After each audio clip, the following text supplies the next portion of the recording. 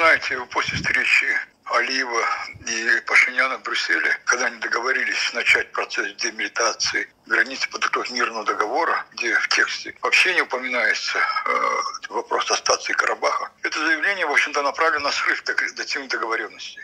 Это раз. Второе, я почти уверен, что Ереван не поддерживает нынешнюю инициативу.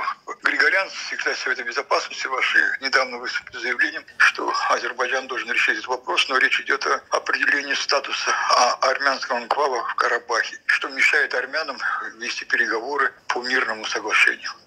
То есть фактически, в противном случае, если Армения не признает территориальную целостность Азербайджана, то переговоры невозможны. Но Ереван и Баку говорят, что переговоры возможны. Значит, существует определенная договоренность, что они соблюдают эти принципы.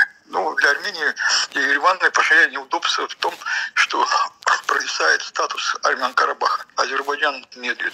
Хотя одно время он дискутировал вопрос о предоставлении особого статуса. Ну, автономия там, я не знаю, какой-то другой. Но в последнее время они что-то молчат на эту тему. И оттуда это обычная такая вялотекущая политическая борьба.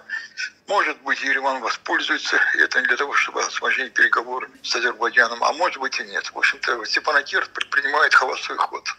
Знаете, надо было признавать раньше, а сейчас это уже, уже никому не нужно. Потому что мы посредники э, в мирном соглашении 9 ноября 2020 года, где определены статусы да, наших миротворцев в Карабахе и так далее. Развивать, разваливать эти соглашения России нет смысла. Это процесс двухсторонних отношений Баку и.